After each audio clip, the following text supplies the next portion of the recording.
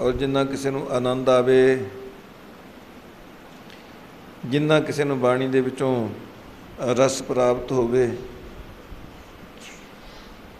ਬਾਣੀ ਵੱਧ ਵੀ ਪੜੀ ਜਾ ਸਕਦੀ ਹੈ। ਪਰ ਜਿਹੜੀਆਂ ਇਹ ਨਿਰਧਾਰਤ ਕਰ ਦਿੱਤੀਆਂ ਵੀ ਇੰਨੀਆਂ ਬਾਣੀਆਂ ਪੜ੍ਹਨੀਆਂ ਹੀ ਨੇ, ਇਹ ਵੀ ਇੱਕ ਕਿਸਮ ਦਾ ਹੱਠ ਹੀ ਹੈ। ਇਹਨਾਂ ਤੋਂ ਘੱਟ ਗੁਜ਼ਾਰਾ ਨਹੀਂ। ਹਟ ਦੇ ਨਾਲ ਹੀ ਰੋਜ਼ ਦਾ ਨਿਤਨੇਮ ਹੁੰਦਾ ਹੈ ਔਰ ਹਟ ਦੇ ਨਾਲ ਹੀ ਜੇ ਆਪਾਂ ਕੋਈ ਨਿਯਮ ਬਣਾ ਲਈਏ ਵੀ ਗੁਰੂ ਘਰ ਦੇ ਵਿੱਚ ਜਾ ਕੇ ਸੇਵਾ ਕਰਨੀ ਹੈ ਜਾਂ ਸਿਮਰਨ ਵਿੱਚ ਜੁੜਨਾ ਹੈ ਜਾਂ ਗੁਰੂ ਕੀ ਪਵਿੱਤਰ ਬਾਣੀ, ਗੁਰਬਾਣੀ ਦਾ ਕੀਰਤਨ, ਗੁਰਬਾਣੀ ਦੀ ਕਥਾ, ਗੁਰਬਾਣੀ ਦੀ ਵਿਚਾਰ ਸੁਣਨੀ ਹੈ। ਹਾਂ, ਜਿਨ੍ਹਾਂ ਨੇ ਇਸ ਤਰ੍ਹਾਂ ਦਾ ਨਿਯਮ ਬਣਾ ਲਿਆ ਹੈ ਇਹ ਨਿਯਮ ਹੱਟ ਦੇ ਨਾਲ ਹੀ ਨਿਭਦੇ ਨੇ।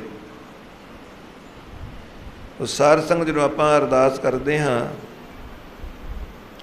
ਉਹਨਾਂ ਗੁਰਮੁਖਾਂ ਦੀ, ਉਹਨਾਂ ਸਤਪੁਰਸ਼ਾਂ ਦੀ ਕਮਾਈ ਦਾ ਧਿਆਨ ਧਰਿਆ ਜਾਂਦਾ ਹੈ। ਜਿਨ੍ਹਾਂ ਨੇ ਨਾਮ ਜਪਿਆ, ਜਿਨ੍ਹਾਂ ਨੇ ਵੰਡ ਕੇ ਛਕਿਆ, ਜਿਨ੍ਹਾਂ ਨੇ ਗੁਰੂ ਕੇ ਨਿਮਿਤ ਦੇਗ ਚਲਾਈ, ਜਿਨ੍ਹਾਂ ਨੇ ਧਰਮ ਦੀ ਰੱਖਿਆ ਵਾਸਤੇ ਤੇਗ ਵਾਹੀ ਜਿਨ੍ਹਾਂ ਨੇ ਆਪਣਾ ਆਪਾ ਕੁਰਬਾਨ ਕੀਤਾ। ਉਹਨਾਂ ਹਠੀਆਂ ਦਾ ਜਾਂ ਉਹਨਾਂ ਜਪੀਆਂ ਦਾ, ਉਹਨਾਂ ਤਪੀਆਂ ਦਾ, ਉਹਨਾਂ ਦੀ ਸਾਧਨਾ, ਉਹਨਾਂ ਦੀ ਕਮਾਈ ਦਾ ਧਿਆਨ ਧਰਿਆ ਜਾਂਦਾ ਹੈ ਰੋਜ਼ਾਨਾ ਅਰਦਾਸ ਕਰਨ ਵੇਲੇ। ਇਸ ਕਰਕੇ ਇੰਨੇ ਘੱਟ ਤੋਂ ਬਗੈਰ ਤੇ ਗੁਜ਼ਾਰਾ ਨਹੀਂ ਹੁੰਦਾ।